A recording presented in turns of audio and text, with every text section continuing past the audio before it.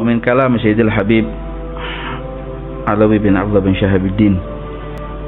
ومن بعض الكلام سيدنا الإمام الحبيب القطب الحبيب أحمد بن محسن الهدار رضي الله عنه وأرضاه منهم أيضا قال سيدي العابد الزاهد القائم بالأسحار الذاكر بالله تعالى والنهار الحبيب محمد بن عبد الله بارك به ساكن بلدة ajazani fi suratil waqi'ah arba'an ba'da salatil isya' wa alfain min ya wadud ba'da al-faraghi min su min qira'ati surah.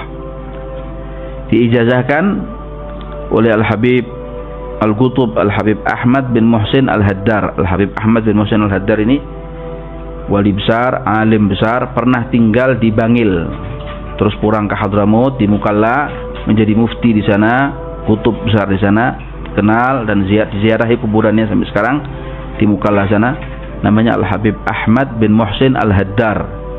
Al-Habib Ahmad bin Muhsin Al-Haddar. Dulu pernah tinggal di Bangil dia? Beliau berkata saya diijazahkan oleh Al-Habib Muhammad bin Abdullah Barakbah di Surabaya.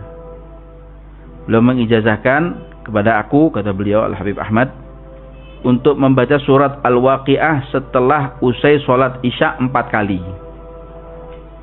Jadi habis bayang Isya baca surat Al-Waqiah empat kali tanpa dijeda dengan bicara.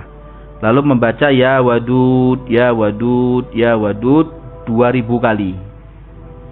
Dua ribu kali ba'dal faraghi min qiraati surah setelah membaca surat Al-Waqiah empat tadi. Jadi setelah baca surat Al-Waqiah sampai 4 baru ya wadud ya wadud pakai tasbih 2000 kali. Nah, maka kainan makan orang yang membaca ini kalau istiqamah Allah akan gerojok rizkinya. Digerojok sama Allah Ta'ala rizkinya. Ya, satu tahun itu insya Allah dia akan senang hidupnya, nyaman hidupnya, bahagia hidupnya. Ini ijazah, dijazahkan oleh Al Habib Ahmad bin Muhsin Al Haddar. Kita terima ijazahnya ya.